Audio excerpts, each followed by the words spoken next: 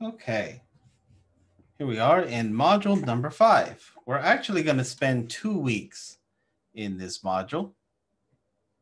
I'll explain what that means at the end of the lecture. As with every chapter, there is a do I know this to gauge your knowledge before starting this lecture, uh, and then you'll have the quiz afterwards. See how well you've improved. A review of the HTTP protocol. As this chapter focuses a lot on web applications, you need to be well versed in the HTTP protocol. Uh, for example, HTTP 1.1 is the protocol defined in RFC 7230 through 7235. An HTTP server is synonymous with web server. An HTTP client is synonymous with a browser. We have proxies. We have API clients and other custom HTTP client programs. HTTP itself is a very simple protocol, and that is a good and it's also a bad thing. In most cases, HTTP is stateless. It is not reliant on a persistent connection. This is why you can have a browser up and logged onto a web page. And if you lose connection or uh, you move too far from your access point or you know, your network state changes in any way, you are still able to reconnect to that site when you refresh because it is not dependent on you being connected all the time to that server in order to pass either new information or update. This is why you can uh, do forms like a Google form without having to be connected to the internet and then get back on and upload the information. HTTP transactions consist of a single request from a client to a server with a single response back. So you don't you're not looking at a whole lot of packets if we are looking at this from Wireshark. A server must maintain the state of the interaction with the client throughout the transmission of successive commands until that interaction is terminated. This is also called the session. So it is not the job of the client to keep the connection up. It's the job of the server to keep track of how many devices are connected, what they're doing, or where they were last, and wait until the client or the browser says, okay, we're done. Proxies act as both a server and a client as they make requests to web servers on behalf of other clients. Proxies enable things like uh, transfer across firewalls, caching HTTP messages, uh, network address translation, filtering, and so on. They're also great treasure trove of information if you are attacking a proxy. HTTP is a layer 7 protocol in the OSI model, using TCP as the underlying protocol.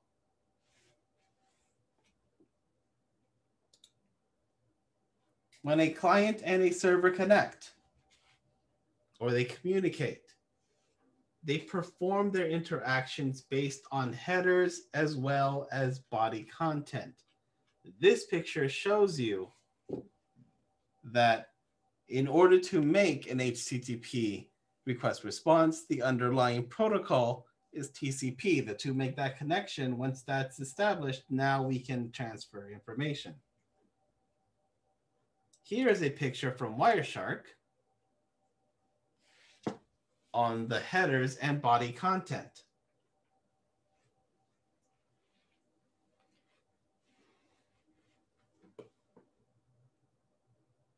we have the get request for content. We can see what type of agent, and we'll talk about that in just a bit. There are various methods. Methods belong right here. So you'll see things like get, head, post, trace, put, delete, options, and connect. The URI and or the path to resource field represents the path portion of the requested URL. In this case, we're looking at a slash. The request version number specifies the version of HTTP used by the client. In this case, 1.1.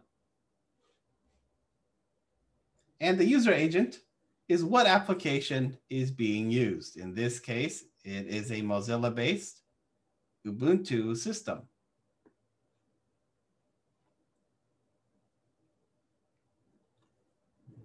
Servers will respond with a three-digit status code. And there are five different sets. There's the 100, which is informational, the 200s, which is successful, the 300s, which is redirection, 400s means client error, 500 means server error. Whenever you see, for example, anything in the 400s, that means the error is on the client side, not the server. Anything that's 500 is on the server side. Anything 300, if you're going to Amazon.com and it gets redirected to www1.amazon.com, you'll see a 300 uh, message.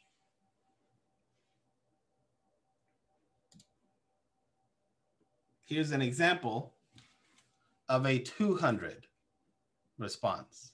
This is okay. No problems. Things were successful.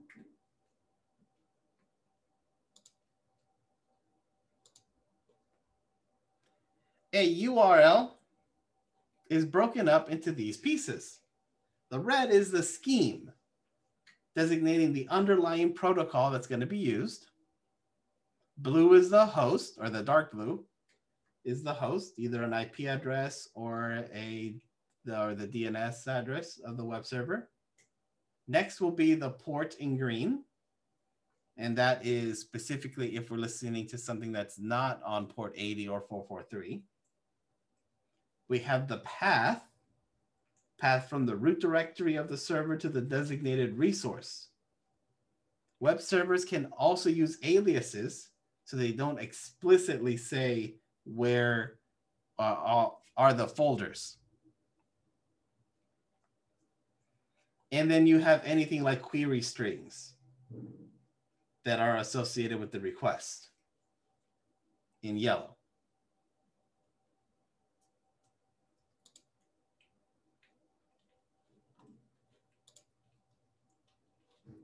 So I mentioned that there are different versions of HTTP. Here are the two.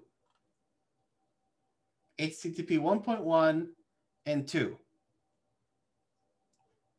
Obviously, the older one takes more steps to uh, get actions done, whereas the new one has multiplexing. So for example, in 1.1, we had to make a separate request to get a CSS file and get a JavaScript file.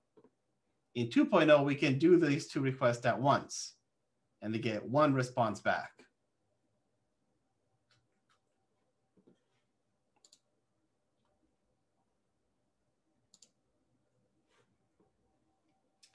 Uh, so web sessions, which is what you see here. Oh, sorry, web sessions. They can include pre-authentication tasks, authentication process, session management, access control, and session finalization. Web applications create these sessions and keep track of anonymous users after the first user request or after the first user has authenticated.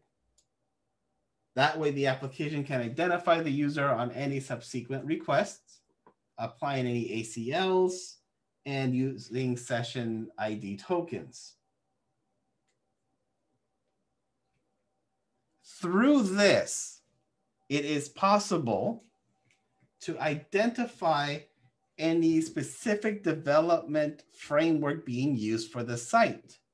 For example, if you see in this communication things like PHP SesID, then we know it's PHP.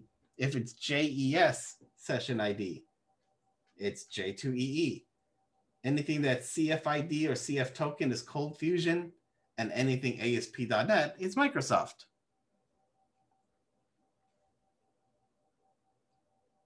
These things become important when we're trying to find vulnerabilities. If we can find out the version, if we can find out the type, the framework, we can narrow down our search into what we need in order to get in. There are multiple mechanisms to maintain the session state. The one that's most often used is a cookie. There are two types of cookies, if you didn't know. There is the non-persistent and the persistent. If a cookie has a max age or expires attribute, then it's considered persistent and stored on the disk by the browser until it expires. Modern applications are being built with non-persistent, which are deleted once the browser is closed. Or, you know, you can make Firefox or like Brave delete everything when you uh, exit the browser. So anything that, any cookies that are persistent, they'll go away. And uh, the difference or the reason why 1.1 and 2 or 1.1 did one at a time, well, that's how it was built. And then when 2.0 came around, it came to fix that. That way there's less packets flying over the wire or over the air, and we get more information in and out. For this realm, web application exploitation, OWASP is your friend, the Open Web Application Security Project. They're a nonprofit foundation that work to improve security of software their biggest thing is web applications, and they have lots of tools and toys to learn and defend. They're the ones who have that top 10 list of the top 10 vulnerabilities that exist in web applications. And sadly, the top 10 list hasn't hasn't had a need to get updated since 2017 because those same vulnerabilities still exist today. uh, that you know that they're part of your your classwork to attend their online sessions and i hope that they have been uh, very fruitful because uh, all the times that i've attended it's been great. Always walk out learning something new. Moving on. As i take a sip of water. That's an overview of http moving down the line to SQL, and more specifically SQLi. The most common SQL statements that you should be familiar with, and I don't mean that you should be a database administrator, I mean you need to be familiar with it, are select, update, delete, insert into, create database, alter database, create table, alter database, drop table, create index, and drop index.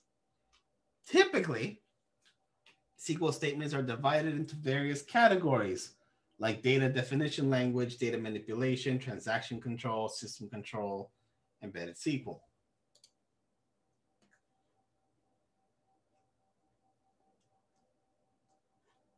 Here is a basic SQL statement.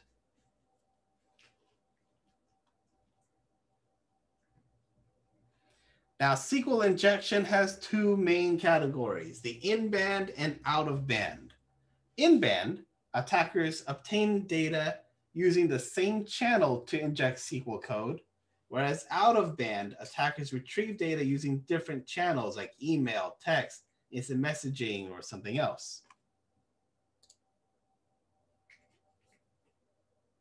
Here is an example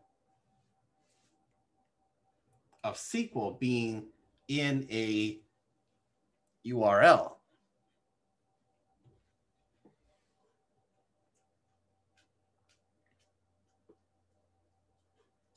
There is the blind or the inferential SQLI. An attacker reconstructs information by sending specific statements and discerning behavior of the application and database.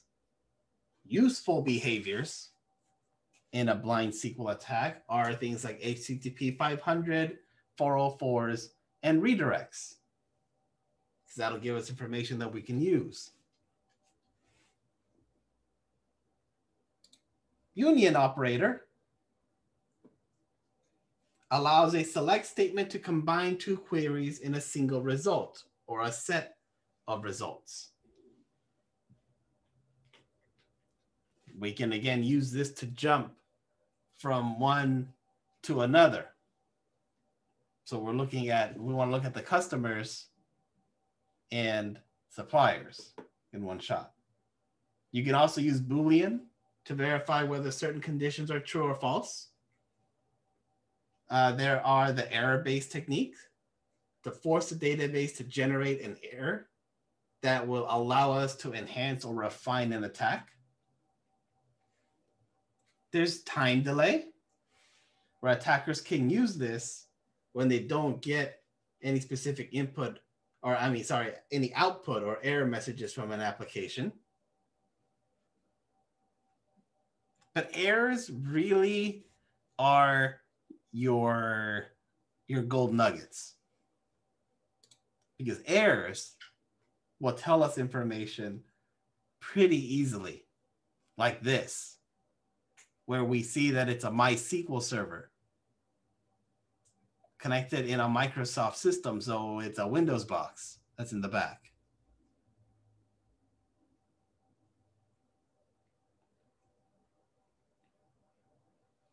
The ways to defend this stuff, the SQLI mitigations, they include static queries or immutable queries.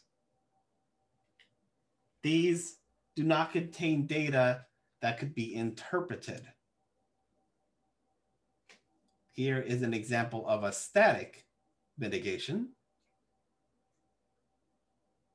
Here's an example of an immutable.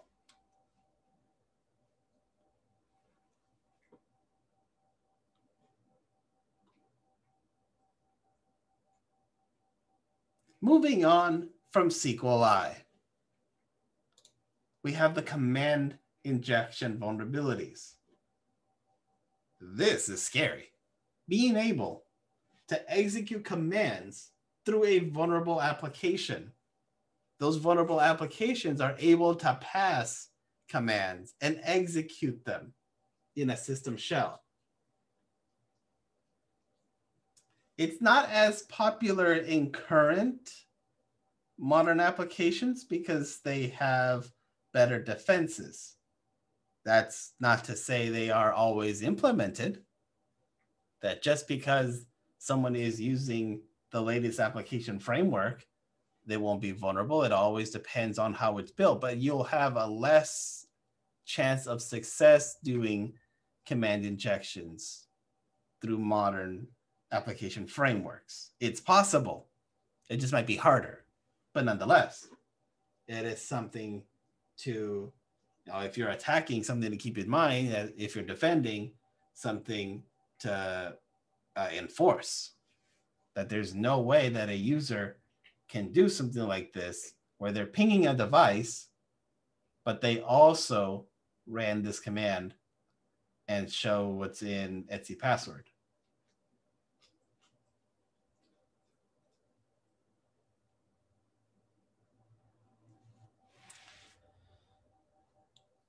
Furthering in the realm, we have exploiting authentication based vulnerabilities. This could be online or offline. Online is the easy to detect. Those are like a brute force where they're they're sending uh, attempt after attempt on the network, and you can see the the packets with username and passwords. The offline is the one that we can't see because they'll take a hash and they'll use any other system to do things like rainbow tables or hashcat or you name it to figure it out. Uh, it's something that I mentioned in my CIS 75, and the offer stands for 76. That uh, if you have a 12 terabyte external USB 3.0, I can give you a copy of my rainbow tables.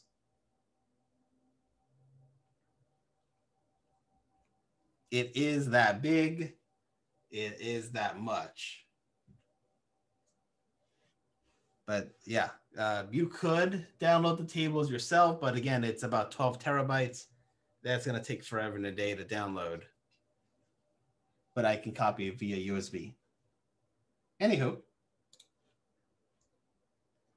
here's some algorithms with the recommendation of being used versus not being used. Like this should be avoided, like the like uh, Kelvid. whereas things like SHA 256 and SHA 512, those, should, those are access, uh, acceptable.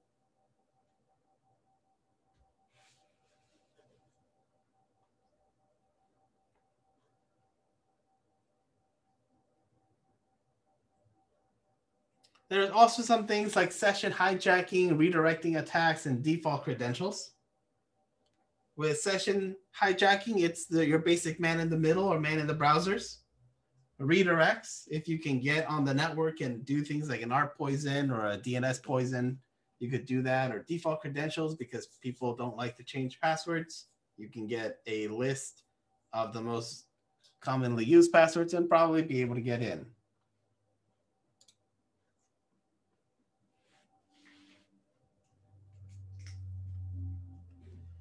Uh, this picture shows you some parameter pollution. This is a problem. If multiple HTTP parameters have the same name, they can cause an application to interpret values incorrectly via input validation, trigger application errors, modify internal values. These can lead to either server or client side attacks. So as defender, we need to see what our applications are doing and ensure that they're not using the same parameters. As an attacker, if we see something like this, we know we can use it to add extra parameters and get our way in.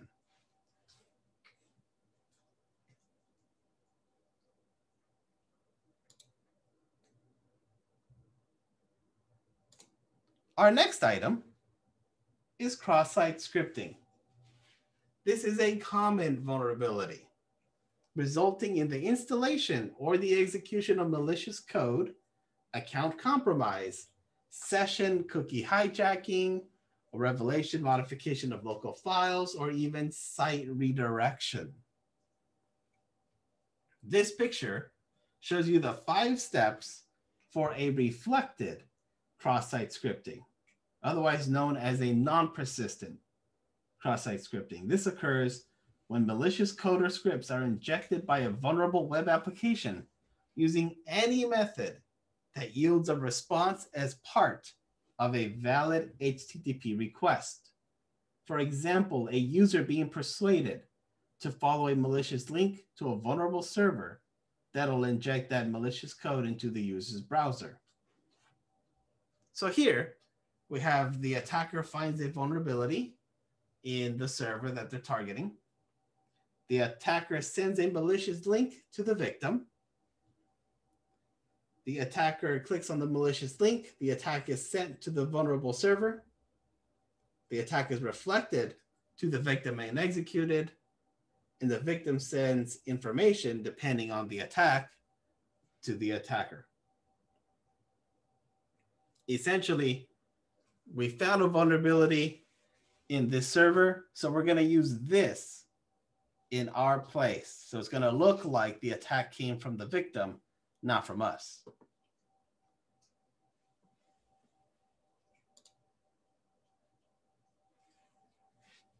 stored cross-site scripting or persistent. Malicious code is permanently stored on a vulnerable or a malicious server's database, typically carried out on blog posts, web forums, or any other permanent storage method. And then you also have things like document object model or DOM based attacks. And there are evasion and mitigations that are provided by OWASP that you can check out.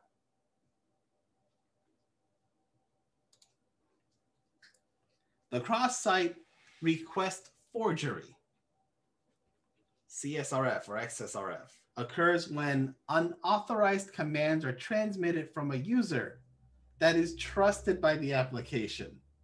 This is different from cross-site scripting because they exploit the trust an application has in a browser. In other words, they're using the identity of a valid user. In this example, the URL contains the parameters password equals new test and password underscore conf equals test and change equals change number. As long as the user follows the link, an attacker can easily send a crafted link to any user to change their password.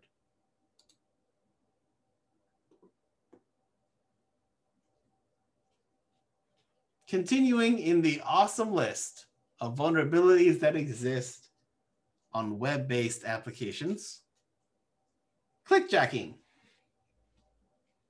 It's basically a user interface redress attack using multiple transparent or opaque layers to induce a user into clicking on a web button or a link on a page that they didn't intend to. Those user keystrokes can also be clickjacked through a CSS style sheet, an iframe, and text boxes, fooling the user into entering information or clicking links. The two most common techniques to prevent or to mitigate clickjacking, according to OWASP, are to send the proper security policy or CSP frame headers to instruct the browser not to allow framing of, from other domains. And two, use defensive code in the application to make sure current frame is top level window. These things are thoroughly documented in on OWASP's website. If you are running a web server, you should be applying these things to your sites.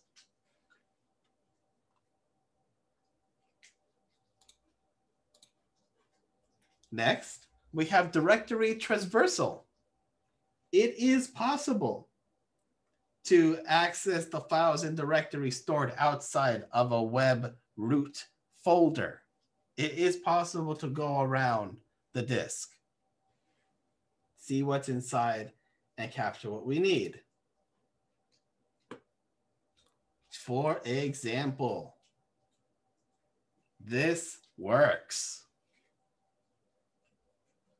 So here we have a server listening on port 66. Here would be the, the pages that we would go into, right into the vulnerabilities folder, into the file folder, but we can use something like this to get out of this folder, this folder, out of the web root folder, and this might be uh, HTML, and then there might be a www folder, and then might be a var folder, and that'll take us back to the root, and then make our way elsewhere. If the website or the web server is smart enough to block dot dot slash, well, you can also use this these different functions as well. This is all the same as this.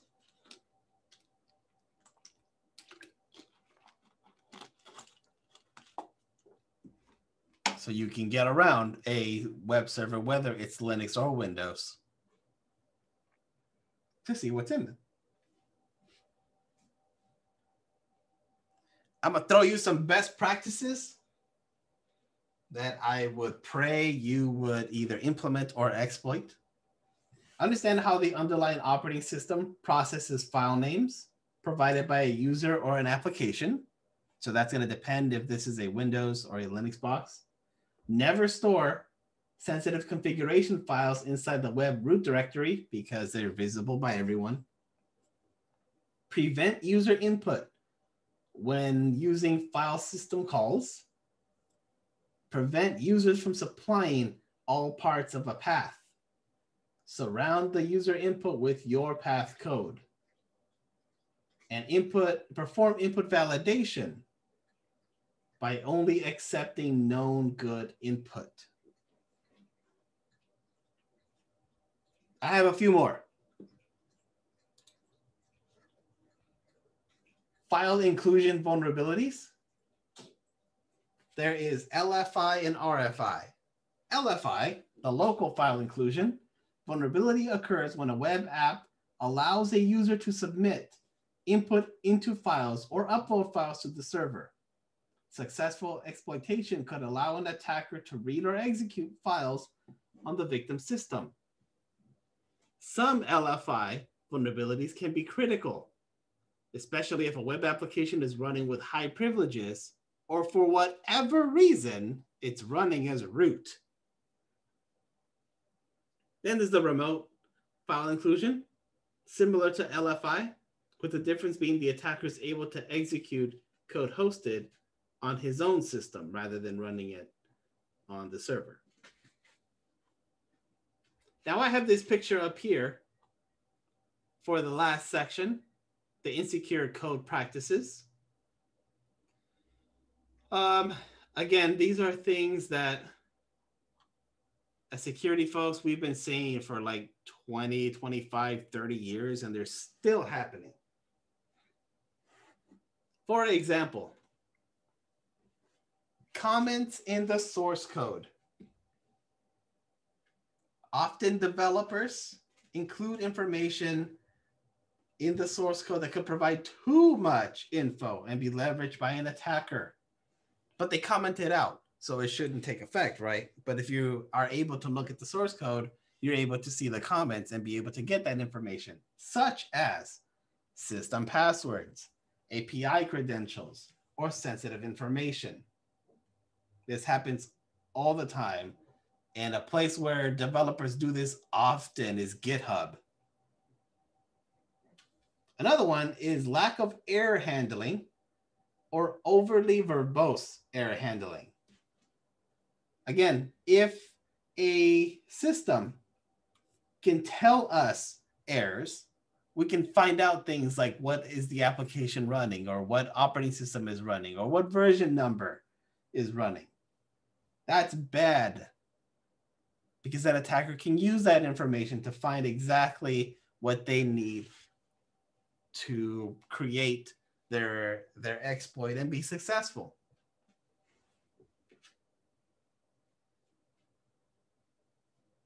There's hard-coded credentials. Again, this is catastrophic. Why would you hard code credentials into an application? This should not be, but it's a best practice on this list because it happens. There's also the race condition, otherwise known as TOCTOU, T-O-C, T-O-U. That stands for time of check to time of use. A system or an application attempts to perform two or more application or operations at the same time, even though the nature of the system should be done in a proper sequence. When an attacker exploits this, he has a small window of time between when the security control takes effect and when the attack is performed. This does make this attack difficult to exploit. That doesn't mean it's impossible. There are ways to do a race condition, for example, where you can do an exploit and have it done so fast that something like an antivirus won't pick it up because it the antivirus moved too slow. There are unprotected APIs. uh, it, it's like why why do you have this door wide open that it's not properly secured? Doing like HTTPS, validating parameters using strong authentication, making internal API documentation mandatory, not having uh, sensitive information publicly shown.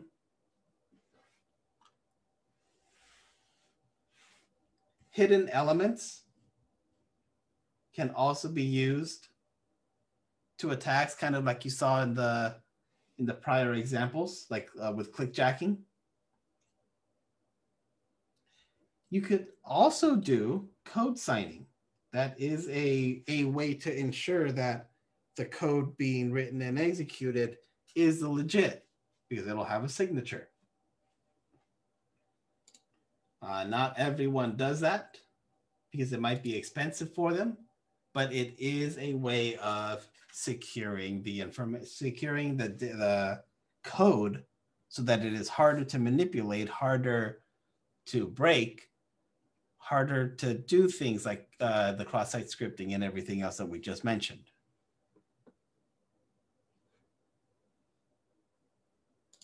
Oh, I see messages in the chat.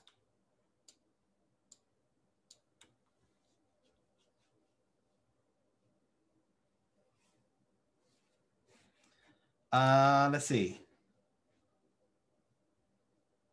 I'll make it scroll down automatically. I don't remember what that's called. Uh, my internet speed is not the fastest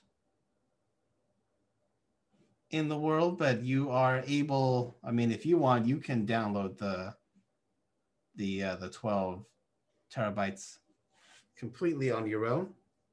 My uh, my my rainbow tables come from DEF CON. If you want the link yourself, I can send. I'll put that in the um, in the Discord chat.